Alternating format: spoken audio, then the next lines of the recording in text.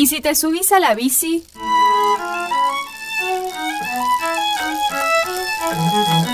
Chajarí en Bici es una iniciativa del gobierno de tu ciudad por intermedio de la cual podés acceder a bicicletas públicas de manera gratuita.